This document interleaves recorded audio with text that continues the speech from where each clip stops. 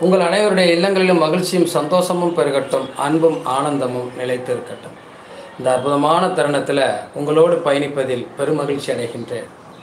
நிறைய நம்ம வந்து வாழ்நாளில் நிறைய விஷயங்களை நம்ம காலங்களில் சந்திச்சிருப்போம். நம்முடைய தொழில் பண்ணும்போது வீட்டில் இருக்கும்போது அம்மா அப்பாவோட இருக்கும்போது நண்பர்களோட பழகும்போது பலதரப்பட்ட மக்களை சந்திக்கக்கூடிய வாய்ப்புகள் நமக்கு கிடச்சிருக்கும். அந்த வாய்ப்புகளால் சில சந்தர்ப்பங்களால் நமக்கு ஒரு சில பிரச்சனைகளை சந்திக்கக்கூடிய வாய்ப்புகள் கூட நம்ம லைஃப்பில் இருந்திருக்கும். இதெல்லாம் தாண்டி போகிறதுக்காக நிறைய போராட்டங்கள் இருந்திருக்கும். அந்த போராட்டங்களில் இருந்து நம்ம அடுத்த கட்டத்துக்கு எப்படி போகலாம் எப்படி போகலாங்கிறதே ஒரு பெரிய கேள்விக்குறியாகவும் இருந்திருக்கும். அதை தாண்டி போகிறது நமக்கு ஒரு முக்கியமான விஷயமாகவும் நம்ம லைஃப்பில் இருந்திருக்கும். எத்தனை பேர் இதை கவனமாக அப்படிங்கிறது நமக்கு தெரியல. இந்த நம்ம வாழ்க்கையில் துரோகம் அப்படிங்கிற ஒரு விஷயங்கிறது வந்து ஒரு பெரிய ஹைலைட்டான விஷயம்.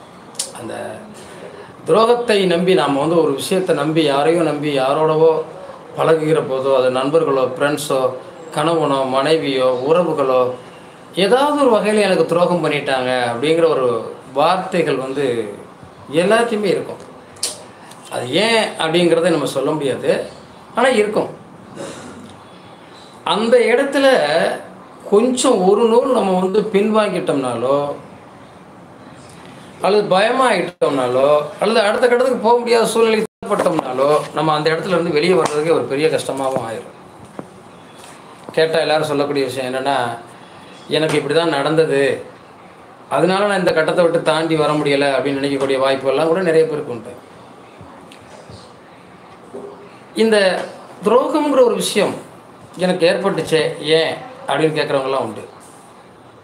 நான் நல்லா தான் பார்த்தேன் அப்பா அம்மாவோட வளர்ந்தேன் உறவுகளோடு இருந்தேன். எல்லாரோடையும் நல்ல பாசமான ஆளாக தான் இருந்தேன்.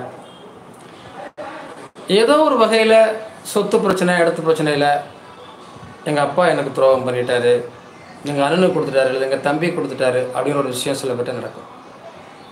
இன்னும் ஒரு படி மேலே போனால் எங்கள் அம்மா வந்து எங்கள் அண்ணனை தான் பார்த்தாங்க அல்லது என் தம்பியை தான் பார்த்தாங்க அல்லது என் தங்கச்சி மாற பார்த்தாங்க. என் மேலேயோ எங்கள் மேலேயோ எங்கள் அண்ணதம்பி மேலே ஒரு பாசமாக இல்லை.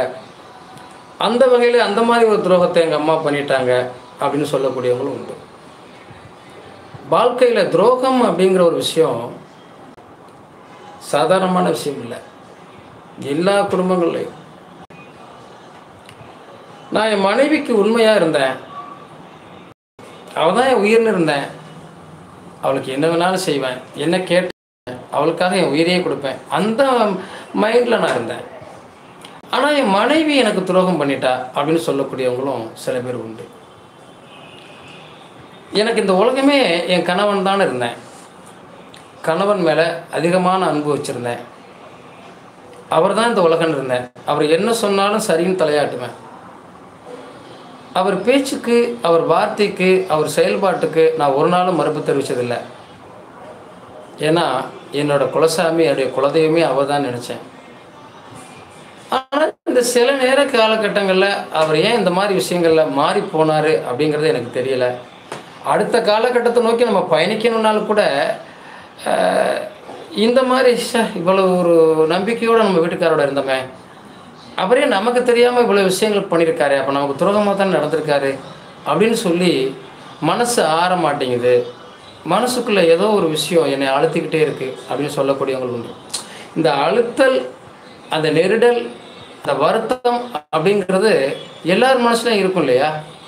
அப்போ இதை சார்ந்து நம்ம பயணிக்க வேண்டிய அமைப்பும் அதில் இருக்குது ஒரு நிமிஷம்.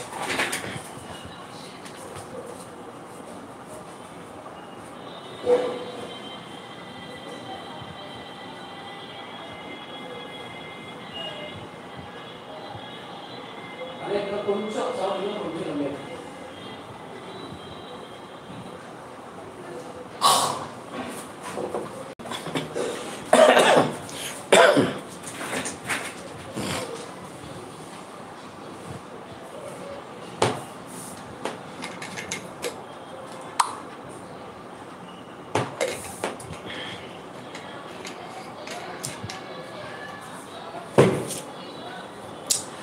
துரோகம்ங்கிற வார்த்தை அது யார் செய்தாலும் துரோகம்தான்.